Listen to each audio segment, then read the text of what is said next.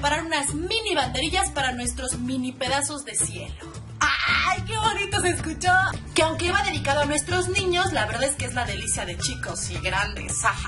Para hacer nuestras banderillas vamos a ocupar dos tazas de harina de trigo, tres cuartos de taza de fécula de maíz, que aquí en México la conocemos como maicena, media taza de azúcar, dos cucharadas soperas de sal y para los que tienen sus medidas de tablespoon, dos tablespoons, una cucharada sopera de bicarbonato de sodio o en inglés baking soda, una cucharada cafetera de polvo para hornear, el famoso y conocido, una taza y media de leche.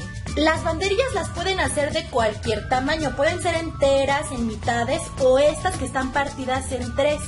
También vamos a necesitar unos palillos especiales para banderillas. Pero no se preocupen, si no tienen palillos especiales pueden ocupar mondadientes o palillos para la boca. Y si no tienen ninguno de los dos, también se pueden hacer sin palillos. ¿Y para qué les miento? La verdad es que hoy, por esta ocasión, por ser Día del Niño, hoy sí vamos a ocupar muchísimo aceite, pero voy a procurar usar el menos posible. Y aparte de la harina que necesitamos, vamos a tener una poquita por ahí porque la vamos a ocupar para otra cosa. Bueno, hacer estas banderillas es la cosa más fácil del mundo. Vamos a tomar nuestras dos tazas de harina y le vamos a añadir los tres cuartos de fécula de maíz, que yo estoy ocupando marca maicena. Los que nos están viendo desde Estados Unidos pueden ocupar harina de maíz amarilla, también les sirve. Le ponemos la media taza de azúcar, las dos cucharadas de sal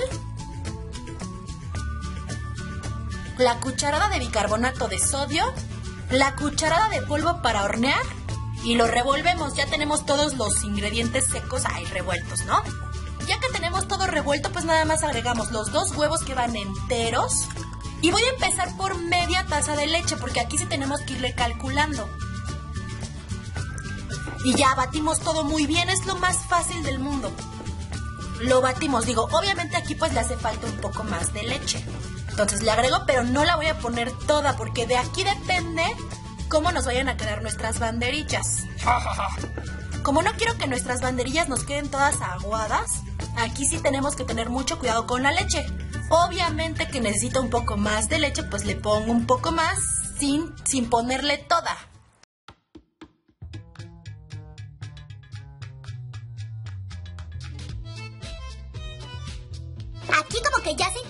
Pero miren, luego luego se ve que está demasiado dura. Sí le voy a poner un poquito más de leche para que se ablande. Todavía no le pongo toda. Lo único que debemos de cuidar es que esta masa no nos quede súper líquida, porque si nos queda líquida, pues se, despega toda de la salchicha. Y eso me choca que salga en una banderilla.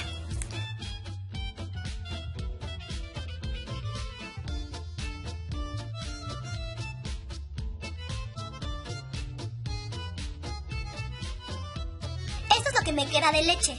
Pero yo ahorita estoy viendo que ya la pasta está líquida, pero sin estar al extremo líquida. Entonces yo creo que eso que me faltó de leche no se lo voy a poner.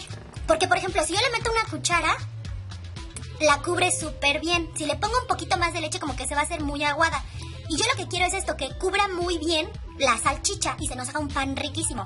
Entonces así lo voy a dejar. Como ven, es una consistencia muy densa. Entonces, mientras más denso, mejor. ¿Se acuerdan que teníamos un poquito de harina?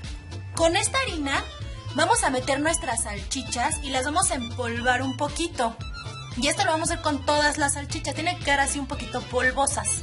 Si ustedes quieren, también pueden hacer sus banderillas, pero con queso. Es lo mismo. Y entonces estas también se tienen que meter a enharinar. Van a quedar riquísimas. Sabe riquísimo con queso. ¡Woohoo! Como ya está todo enharinado, entonces ya nada más es cosa de ir poniendo los palillos, si es que van a quererlas con palillos. Al queso también.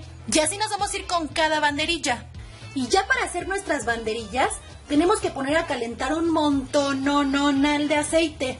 Pero yo para no desperdiciar tanto, pues yo lo voy a hacer en una olla chiquitita y así no me llevé tanto. Bueno, sí me llevé bastante, pero no, al menos no me llevé toda la botella. Bueno, yo como la mayoría de las mujeres mexicanas, no tengo ni termómetro para medir la temperatura del aceite, pero todas nos damos cuenta cuando el aceite está bien caliente. Pues porque empieza, empieza a hacer estas como burbujas. Entonces, ya cuando esté bien caliente el aceite, ya tenemos que tener preparadas nuestras banderillas, ya con el palito o sin el palito, nuestra masa para las banderillas y algo donde vayamos a escurrir el exceso de aceite. Yo prefiero la coladora porque así no desperdicio ni papel y se siguen conservando tostaditas. Entonces, nada más tomamos la banderilla y la vamos a meter en la pasta que si se fijan está dura, o sea, la pasta no está ni líquida ni nada. Yo creo que ese es el éxito de que las banderillas salgan, que debe de estar muy densa la masa. Entonces ya que está así, voy a esperarme nada más a que esta gota se le caiga para que no se hagan bolas. Y así nada más la echamos a la sartén con mucho cuidado, ¿eh? Esto va a estar medio rápido, en cuestión de minutos, dos minutos o un minuto. Nada más tenemos que ir moviéndola hasta que agarre un colorcito doradito.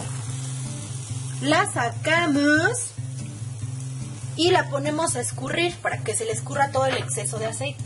Con la banderilla de queso pues es lo mismo.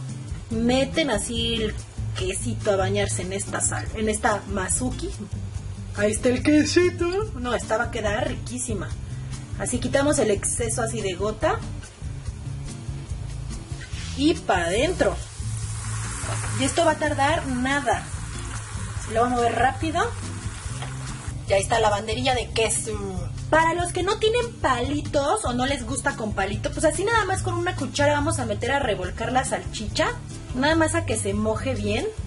Y pues prácticamente es lo mismo. Digo, se gasta un poquito más de harina, pero es lo mismo. Así. Y con la cuchara lo vamos a arrojar al aceite. A estos excesos los quito. Ahorita le voy a bajar a la lumbre porque ya alcanzó un nivel en el que puede estar quemando, en el que, en el que nos puede quemar nuestras banderillas. Entonces, para que quede así bonito el color, le voy a bajar tantito la lumbre. Entonces, esta es la banderilla sin palo y la ponemos a escurrir y así nos vamos a ir con todas nuestras banderillas. Y ya después de que se escurrieron, no, no, no, ve nada más cómo nos quedaron nuestras banderillas. Yo quiero una de queso, ya, me muero por probar una de queso, ve. Lo que me gusta es que a ninguna se le asoma la salchicha. Porque casi siempre, cuando hacemos banderillas, hay una parte de salchicha que se ve, y a esta a ninguna. Estas son las que se hicieron sin palo. Por eso no les voy a decir que no, también está medio doradita.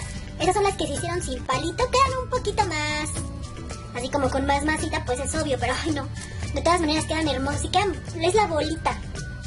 Ya, por Dios, ya. Paren esta masacre, quiero probarla. Esto es puro aire para nuestras llantas, pero ya, solo se vive una vez.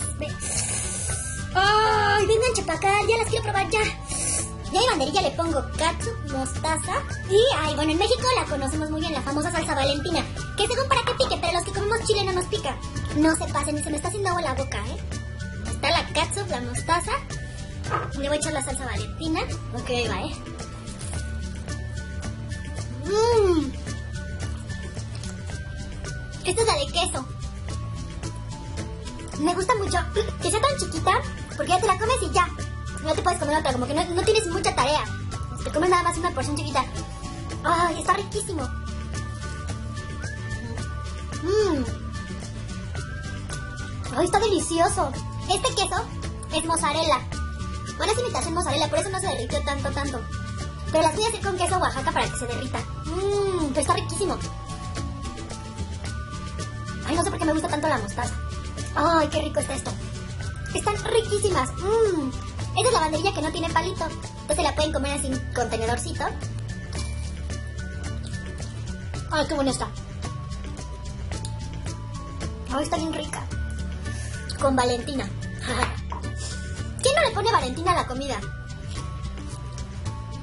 Ay, sí. O si es como comida pecaminosa.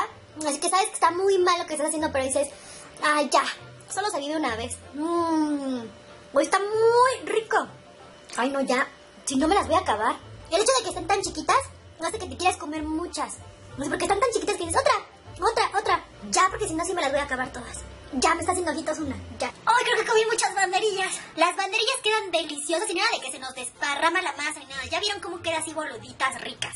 Pues ha llegado la hora de los saludations, pero me mandaron un chiste muy bueno, pero no lo voy a contar hoy porque es especial de niños y el chiste es como para adultos, entonces en el otro se los cuento, pero está muy bueno. Pero mientras los saludos que quedaron pendientes, para que no, para que no se, me, se me preocupen. Un besote muy fuerte para Yasnaya Corona, para Kelita Pacheco y su hija Naomi, George Nieto. Para Jesús González desde Tampico. ¡Mua! Un besote también para Andrómeda Failín, que es la hija de Jesser Coria. Un besote para Elizabeth Baires y para el esposo de Patricia Villarreal. ¡Mua! Un besote para todos ustedes. Espero que les haya gustado mucho este video que es especial para nuestros pedacitos de cielo. Y si les gustó este video, pueden darle clic al botoncito rojo de aquí abajo que dice suscribirse para que los videos les lleguen a la comodidad de su hogar. Solo por hoy la suscripción no cuesta. Pues nunca cuesta. La suscripción siempre ha sido gratis. Yo soy Marisol Pink. Cuídense mucho, los quiero mucho, sobre todo a mis niños. Y nos vemos a la próxima con otro video.